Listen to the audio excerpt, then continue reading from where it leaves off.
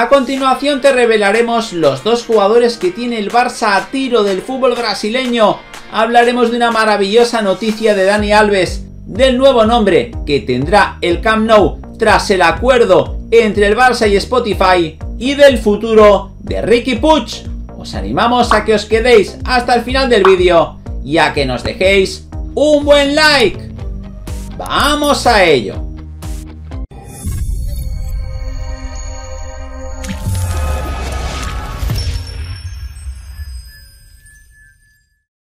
Hola de nuevo gente, ¿cómo estáis? Bienvenidos a un nuevo vídeo de Objetivo Gol. Vamos con la última hora del Barcelona. Y sin más dilación, vamos con la primera de las noticias. Vamos a hablar de las dos grandes perlas brasileñas que el Barça tiene a tiro de cara a la próxima temporada. El Fútbol Club Barcelona trabaja para cerrar dos jóvenes talentos brasileños en verano, Ángel Gabriel y Caica Fernández joyas del Santos que podrían llegar en verano a cambio de 35 millones de euros cada uno. Ambos son titulares indiscutibles con el Peise a pesar de su corta edad, pero el Barça tiene la primera opción de compra por una vieja deuda que el club brasileño tiene con el club. Se trata del incumplimiento de contrato entre el Santos y el Barça por la venta de Gabriel Barbosa, Gabigol, al Inter de Milán en agosto de 2016. El Barcelona tenía una opción preferencial de compra y los brasileños se la saltaron por lo cual la directiva blaugrana llevó el caso a la FIFA, resultando favorecidos en verano de 2021. Con una deuda superior a los 3 millones de euros, el Santos está obligado a negociar por Angelo y Kaika por un precio preferencial que puede rondar los 35 kilos por cada uno. Angelo es considerado como el último exponente de los Menina Davila, camada de extremos brasileños que incluyen a Robinho, Neymar Jr., y Rodrigo Goes. Su capacidad de desborde y gambeta frenética le ha merecido la mítica camiseta número 11 del Santos, la misma que usara Ney hace una década. En el caso de Kaika, la prensa brasileña le considera el mejor central de su generación. Nacido en 2004, el joven defensor mide 1,86 y es considerado como el nuevo Marquinhos. Su físico y capacidad técnica le han garantizado la titularidad con el Peise apenas a sus 18 años y todo apunta a que 2022 será un año consagratorio. Si la directiva así lo decide, el Barcelona ya puede hacer efectiva la opción de compra por ambos. En ese caso, se podría optar por dejarles cedidos un año más en Brasil para que ganen más rodaje en el Brasileirao, o en su defecto, llevarles a la Masia para reforzar al filial y tenerles al tiro del primer equipo, si Xavi así lo solicitara. La opción de Angelo parece más factible a corto plazo, dadas sus características, Ambos jugadores ya han debutado con la Canariña en las categorías inferiores. Por tanto, estos serían todos los detalles. Vamos a hablar ahora de Ricky Puch. Y es que no está nada claro su futuro, que podría estar. Una opción es la del fútbol italiano. Como informó el diario Sport, el Fútbol Club Barcelona quiere vender a Ricky Puch en el próximo mercado de fichajes de verano.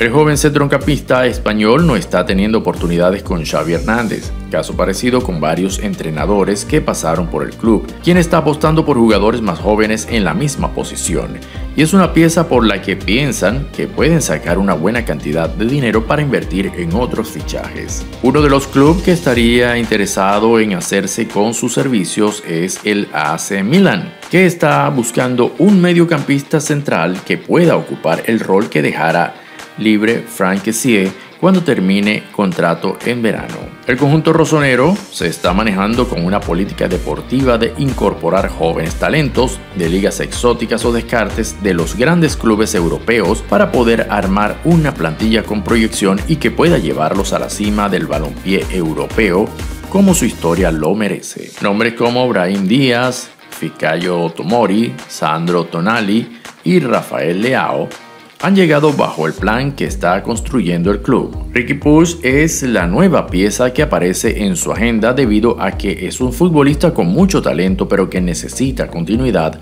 para poder explotar su máximo potencial. Su situación en el Fútbol Club Barcelona puede facilitar su salida por un precio asequible para los rosoneros y es una apuesta que encaja con la idea de juego de Pioli, que ha colocado al equipo entre los mejores de Italia después de muchos años. El Leeds United de Marcelo Bielsa es otro de los equipos que ha mostrado interés de él desde el extranjero. Granada, Villarreal y Real Betis también tocaron su puerta hace un par de mercados, pero el club no tenía intención de venderlo en dicho momento. Vamos a hablar ahora del acuerdo entre el Barcelona y Spotify y es que incluiría también un cambio en el nombre del Camp Nou. El Fútbol Club Barcelona ha hecho sus deberes durante el mercado invernal para poder reforzar la plantilla de Xavi Hernández durante esta segunda mitad de temporada. Sin embargo, debido a la delicada situación económica que atraviesa el club, la nueva directiva ha tenido que mover cielo y tierra para ampliar su cartera para las próximas campañas. Uno de esos movimientos fue cambiar de patrocinante.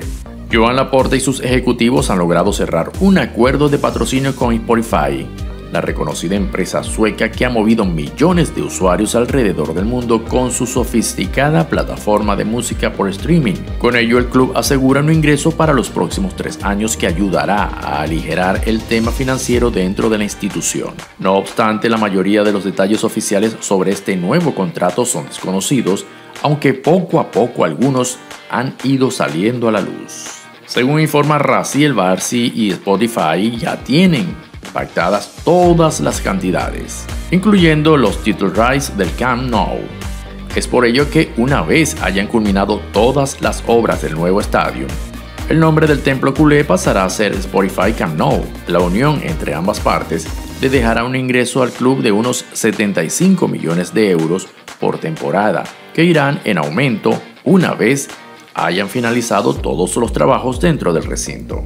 La camiseta del primer equipo se valora en 60 millones y la de entrenamiento en su parte trasera en 5. La equipación del equipo femenino en 5 kilos más y los title rights del estadio en 5 también mientras duren las obras de remodelación.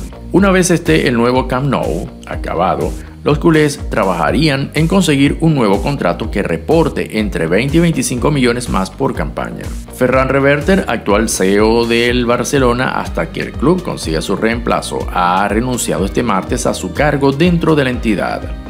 Aunque el comunicado oficial de los catalanes explica que ha sido por motivos personales y familiares, se ha especulado que la razón verdadera podría ser el nuevo vínculo con Spotify. Según afirman varios medios, todos los trámites se hicieron sin la presencia del Ejecutivo, quien se encontraba en Estados Unidos negociando sobre el Spy Barça. Este movimiento de la directiva habría sido la razón verdadera de su dimisión. Y ya para acabar, vamos a hablar de una maravillosa noticia de Dani Alves. Joao Cancelo lo tiene claro el futbolista al que admiraba de pequeño era Dani Alves y ahora, que él también es un jugador de élite, ve en el brasileño el modelo a seguir.